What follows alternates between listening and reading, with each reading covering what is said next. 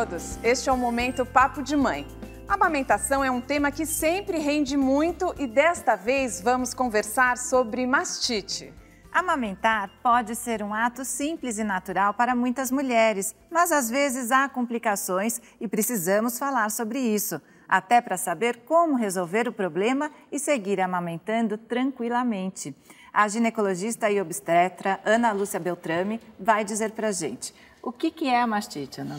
A mastite é uma inflamação seguido de uma infecção da glândula mamária pela, pela, penetração de alguns germes da pele da mama ou eventualmente da boquinha do bebê. Uhum. E grande parte, na verdade, a grande parte dessas mastites, elas são causadas principalmente por erros durante a amamentação. Uhum. Então é muito importante que as mães elas sejam orientadas para a pega do bebê, da boquinha do bebê em relação à mama.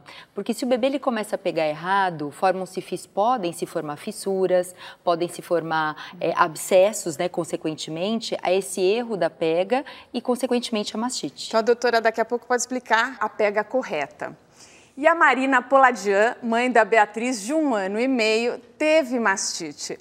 Marina, quais os sintomas que você teve? Na verdade, eu tive duas vezes, é. né? Na verdade, as duas vezes, para mim, o que mais incomodou foi a febre. Então, eu tinha um pouco de dor, as duas vezes eu senti dor. Normalmente, as pessoas sentem muita dor. Uhum. Mas, para mim, as duas vezes, o principal foi a febre. E, e a, a Beatriz part... tinha quanto tempo? A primeira vez, ela tinha duas semanas. E a segunda vez, 40 dias. E você já sabia sobre mastite? Como que você descobriu que você estava com mastite? É, na verdade, a primeira vez eu tinha uma consulta com a pediatra dela no dia seguinte. Então eu fui levá-la para consulta e aí eu comentei e disse que eu estava com febre. E aí ela deu uma olhada, viu que estava bastante vermelha a minha mama.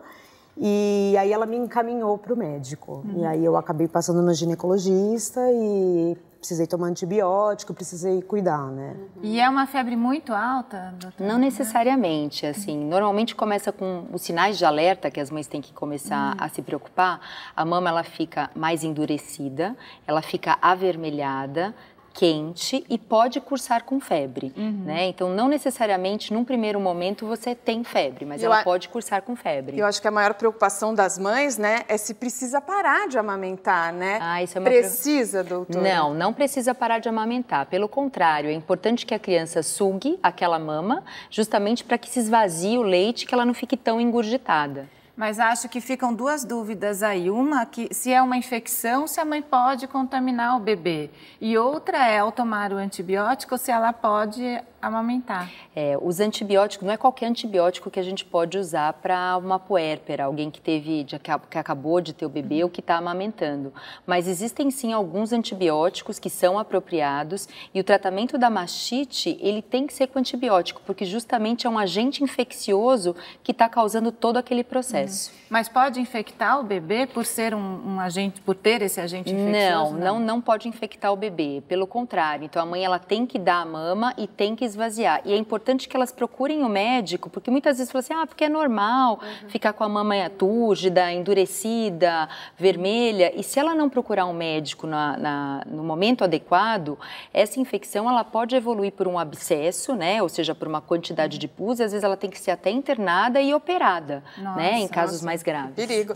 Marina, você continuou amamentando? Doía muito? Eu continuei amamentando, é, doía bastante, mas assim, a primeira vez foi até que mais tranquilo.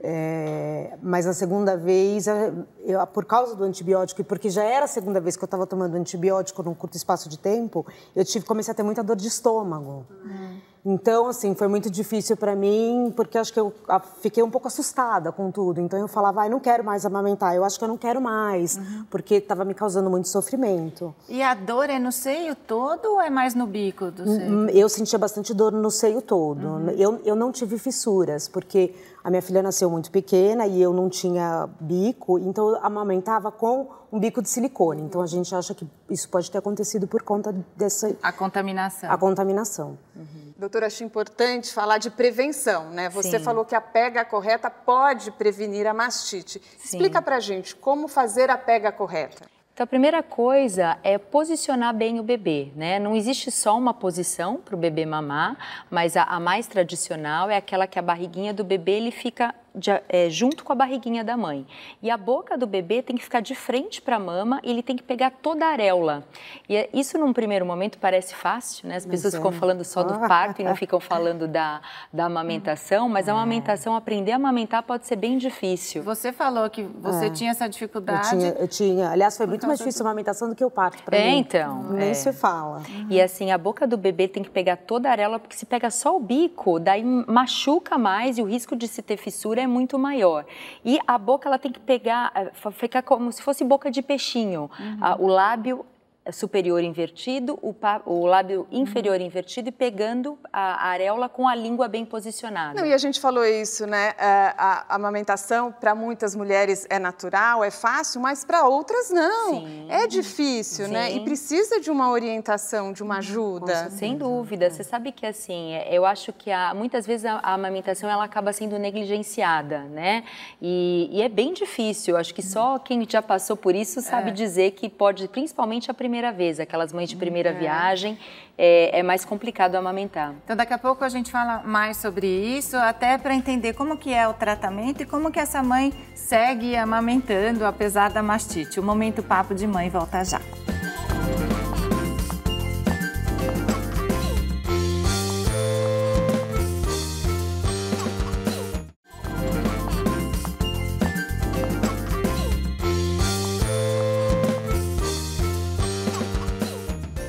De volta com o Momento Papo de Mãe e eu trago agora um depoimento da Gabriela, que tem duas meninas. Ela é do canal do YouTube Tiago e Gabi. Bom, eu tive duas relações diferentes com a amamentação. Eu acredito na amamentação até no mínimo dois anos, né? Eu sigo esse protocolo. Então a Manu mamou até dois anos e a Nina também eu estou indo para esse caminho de amamentar até dois anos. Mas eu tive é, experiências muito diferentes com uma e com outra. Com a Manu, que foi a primeira filha, eu tive muito machucado. Eu sofri muito os primeiros 15 dias e eu achei que aquilo lá fosse uma coisa normal, que todo mundo passasse por isso e que a pega ela ia se encaixar de alguma forma. Na segunda filha, eu descobri que não, que a gente tem que aprender também a amamentar para poder ensinar aos nossos filhos, que não é uma coisa assim tão natural como todo mundo fala. Obrigada, Gabi, pela sua participação. É isso, é importante as mães dividirem essas experiências também, para você não ficar com aquela impressão de que todo mundo consegue, menos você. Né, Exatamente, né, essa é a impressão que elas têm. É, é. elas é. não sabem a dificuldade que pode ser a amamentação. Hum. E por isso é importante realmente o aconselhamento dessas, dessas mães, muitas vezes ou pelo médico, ou pela equipe de enfermagem do hospital, e aquelas que vão para casa e que ainda têm alguma dificuldade, existem profissionais especializados, uhum. como as consultoras de amamentação, que muitas vezes são pessoas especializadas uhum. neste momento ou são enfermeiras que são treinadas para isso. Doutora, esses machucados, eles podem acabar provocando a mastite, porque aí a mãe não deixa pegar direito porque está doendo? Sem dúvida, né? A porta de entrada para as bactérias é, são essas fissuras. E um jeito fácil da gente tentar minimizar esse, esse, essa, essas fissuras é realmente orientar o posicionamento do bebê. Além disso, evitar que as mamas fiquem muito cheias, então orientar muito bem a ordenha dessa mama. E aquelas pequenas fissuras que é natural que fique, uhum. principalmente nos primeiros dias de amamentação, uma coisa simples que assim, as, muita gente não sabe é tomar sol. Uhum. A gente não pode deixar aquele bico ficar úmido e o sol é um bom cicatrizante. Mas pode passar alguma pomada? Não sei, você usou alguma pomada? Eu usei, eu usei uma pomada que Tem até na própria, na própria, maternidade eles deram uma, mas eu já tinha comprado também, né? A base de lanolina. Lanolina, né? é. Tem as, as pomadas à base de lanolina que não faz mal para o bebê, ele pode mas mamar. Mas eu tomei bastante sol também. O sol é ótimo. E para aquelas é. que têm, uh, querem uma alternativa mais tecnológica, a gente sabe que o laser, existem lasers que podem ser aplicados e que facilitam essa cicatrização mais rapidamente. Marina, no tratamento da mastite, além do remédio, você fez alguma outra coisa? Eu contratei uma consultora de amamentação e eu comecei a usar a bombinha depois que ela amamentava, para esvaziar. Porque é importante esvaziar o esvaziar. peito. É, e uma outra coisa que acaba sendo uma lenda popular e que a gente tem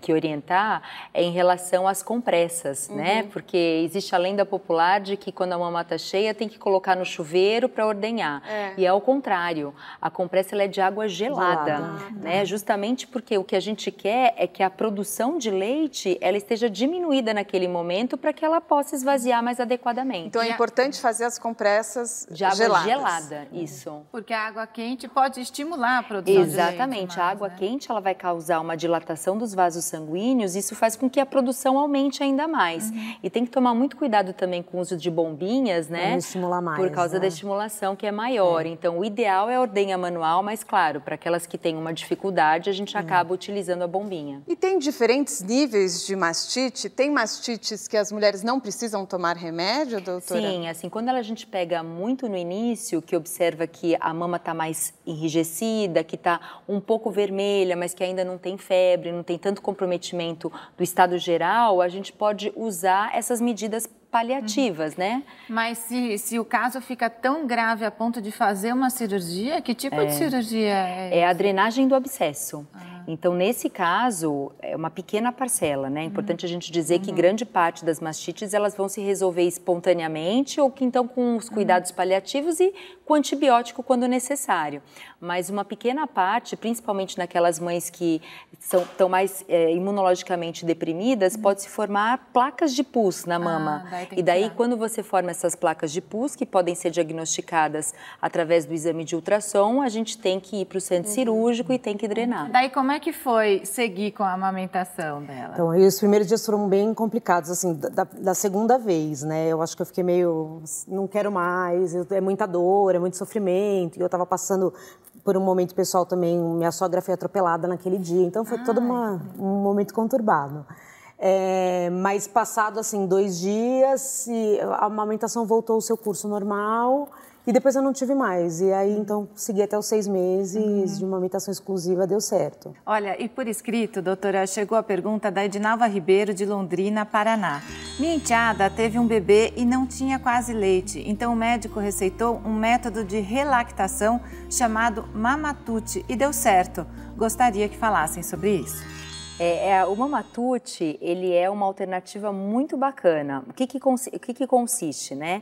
Consiste na, na administração, né, na, de dar o leite para o bebê artificial, para a fórmula, só que de uma maneira que ele sugue no peito. Então, como que faz isso? É um canudinho que a gente coloca aqui na mama e na hora que o bebê está sugando a mama, ou seja, ele não vai sugar a mamadeira para tomar a fórmula, na hora que ele está sugando a, a mama da, da mamãe dele, o leite da fórmula vai sendo dado junto. Uhum. Então, até que a produção daquela mãe, ela seja restabelecida. E daí tira a fórmula e exatamente, segue amamentação. Exatamente. E eu quero agradecer a todos que nos mandam vídeos e nos escrevem. E o nosso tempo acabou.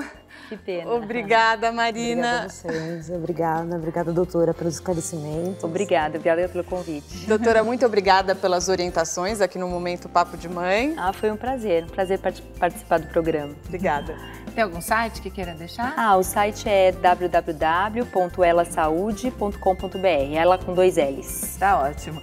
Nós já gravamos vários programas sobre amamentação aqui no Momento Papo de Mãe e você pode conferir no nosso canal no YouTube. Inscreva-se lá e até a próxima.